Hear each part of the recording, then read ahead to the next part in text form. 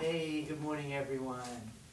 Um, yeah, I wasn't really feeling it to do a video this morning, but then I got this, the scripture came across my email just now, and I just, um, I start reading it, start meditating, and I feel that some of you could really um, be blessed by this today, and it might something you might need to hear. Um, and it comes out of Romans 12, 12, and it reads, Rejoice in our confident hope, be patient in trouble, and keep on praying. And as I was thinking about that, another scripture came to mind. You know, when Jesus um, was speaking here, and he said, Here on earth, you will have many trials and sorrows. You know, guys, the bottom line is life is, well, it's life. It comes with ups and downs. But we must remember what Jesus said next. He said, But take heart, because I have overcome the world. What comfort there is in that.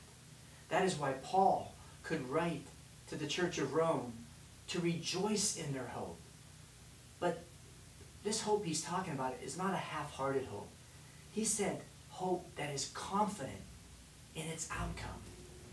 With this confidence, guys, he wrote that we can also be patient in trouble.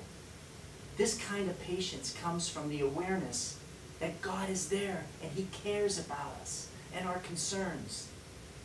That is why Paul finished his instruction here with keep on praying. You know, guys, God is greater than our worries. No matter what our situ situation is, we can pray with joy because of the hope that we have in Christ.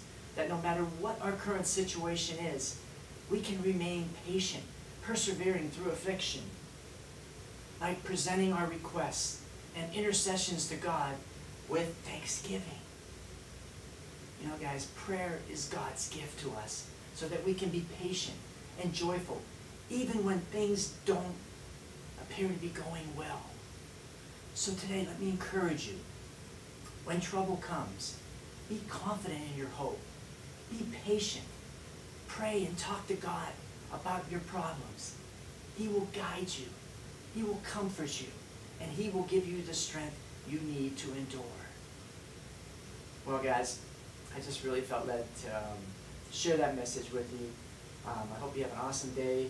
Know that I'm praying for you. I love you guys, and please, please share this video. Maybe someone else needs to hear this.